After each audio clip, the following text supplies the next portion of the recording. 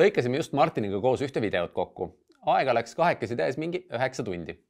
aga siis ma hakkasin mõtlema, et hmm, kui ma eile ise oma ajaloovideoid monteerisin, siis ma sain üksi valmis mingi kahekümne tunniga.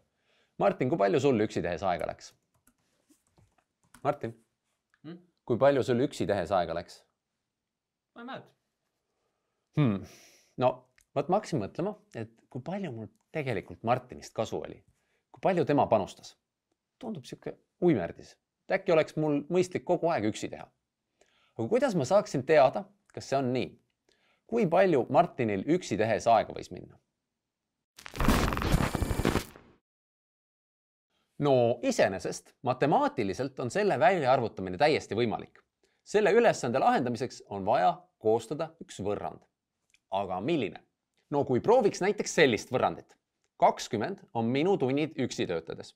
Sellele liidame tundmatu ehk Martini tunnid üksi töötades ja kokku saame üheksa tundi kahekesi tehes. kuidas tundub, kas me niimoodi saamegi vastuse kätte? no me saaksime vastuseks. mis asja, see pole ju loogiline niimoodi ilmselgelt ei saa. mis te arvate, miks? vot tööajaga on ju nii, et mida rohkem inimesi tööd teeb, seda vähem aega kulub.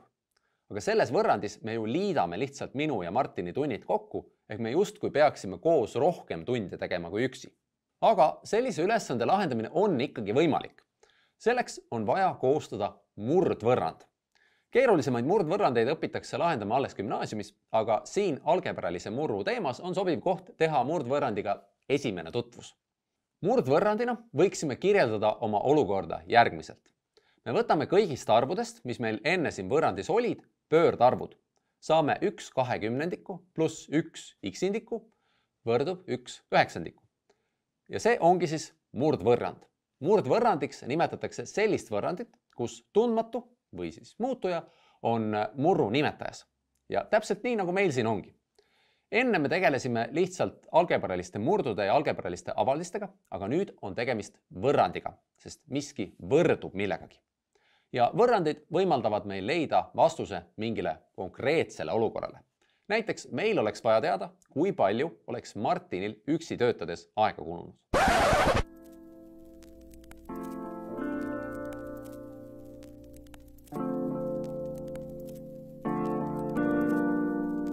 ja kuidas me siis lahendaksime selle võrrandi? noh, eks siin on vaja meenutada, kuidas käisid tehted murdudega. Kõigepealt me ilmselt saame midagi teha nende murdudega, mis ei sisalda tundmatut. viime need ühisele nimetajale.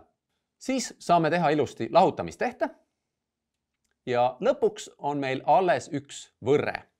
siit me saame välisliikmed korrutada omavahel ja siseliikmed omavahel ja saame üksteist korda x võrdub saja kaheksakümnega ehk siis Martinil kulus üksi töötades natuke rohkem kui kuusteist tundi. oota, mis asja äh,? piinlik lugu äh,. Martin, tuleb välja, et sa oled kiirem kui mina. ühesõnaga, kui me selle piinliku vahejuhtumi kõrvale jätame, siis mida me sellest kõigest õppisime? me saime tuttavaks sellise mõistega nagu murdvõrrand. see tähendab võrrandit, kus mõne murru nimetajas on tundmatu meil siin ülesandes näidiseks olnud murdvõrrand oli tegelikult väga lihtsakoeline. selle lahendamiseks piisas meil teada, kuidas käib murdude liitmine ja lahutamine. aga edaspidi gümnaasiumis õpime juba lahendama märksa keerulisemaid murdvõrrandeid. seniks aga aitäh vaatamast ja kohtumiseni